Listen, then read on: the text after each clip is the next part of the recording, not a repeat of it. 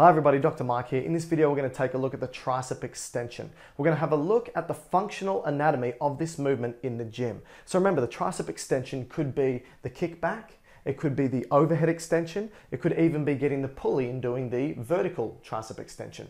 We're going to take a look at the three heads of the tricep and we're going to see if we can focus or isolate any of these heads with these various movements. We're also going to talk about whether, you've probably heard this a lot, whether supination or pronation of the forearm can play an important role in isolating the heads. But first we need to talk about the anatomy.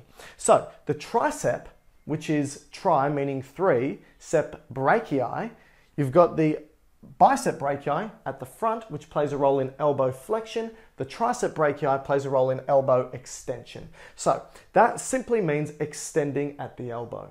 Now the tricep, like I said, has three heads to it. These three heads, the most superficial that you can see is going to be the long head and the lateral head.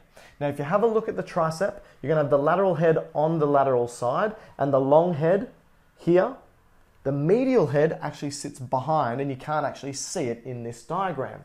Now, if we have a look at their origins, I've highlighted the origins of these three heads. You can see that the long head has its origin at the scapula. You can see that the lateral head has its origin high up on the lateral side of the humerus, and you can see that the medial head has a very broad and long origin going all the way down that humerus as well. All three heads insert at the olecranon, which is the elbow, and this is why when it pulls on it or contracts, it's going to extend the elbow. Okay, couple of important points here. Firstly, the long head is biarticular. That means it goes across two joints. So you can see that it goes from the elbow all the way to the scapula. So it covers the shoulder joint and the elbow joint, which means it plays a role in movement at two joints. And this is going to be important when we look at certain exercises within the gym. So the long head, its functional role is this. Obviously, elbow extension, but also shoulder extension and shoulder adduction. Think about that. Remember, shoulder extension and shoulder adduction. So if we want to really trigger or activate the long head, we need to extend the shoulder and adduct the shoulder. We'll get back to that point in a second. When we look at the lateral head, what you're going to find is that the lateral head cannot be isolated alone from the medial head. All right. The lateral head is also a superficial muscle. And if we look at it in combination with the medial head, which is the deepest one, there's a very long point of origin here. The medial head is going to be the major head of the tricep that is going to be activated at all times during tricep extension. So regardless of what you do, whether it's the kickback, overhead extension, or even the pulleys, you're always going to activate the medial head. It seems to be that the lateral and long head get activated to support the medial head when we are encountering resistance, so adding weights, all right? Now, interestingly, the medial head in some percentage of the population, because all three of these heads come together to form this tendinous sheath that attaches at the olecranon, but there seems to be for a minority of the population, the medial head has its own independent attachment to the olecranon, and this may play a role in the medial head being able to be isolated in itself in certain extension movements.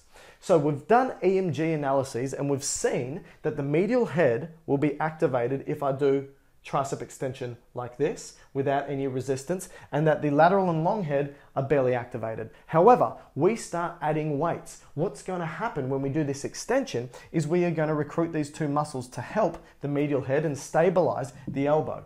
Now, here's an important point.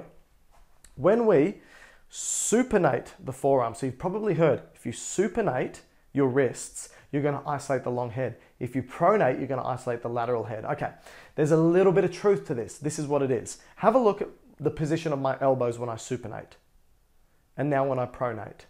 What happens when it comes to shoulder adduction and abduction? When I supinate, I adduct at the shoulder and I bring my elbows in. What muscle did I say plays a role in adduction?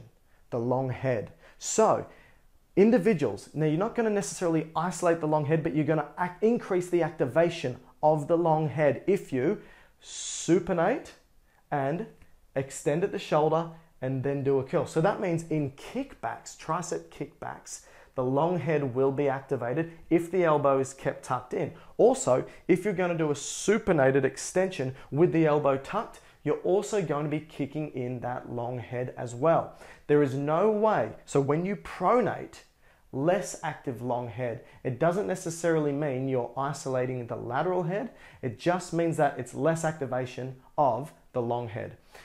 The lateral head and the medial head are going to be supporting each other. Now, for most of us, the medial head is going to be active at all times, regardless of what we're doing. But for another percentage of the population, it seems that the lateral head may be the more dominant head.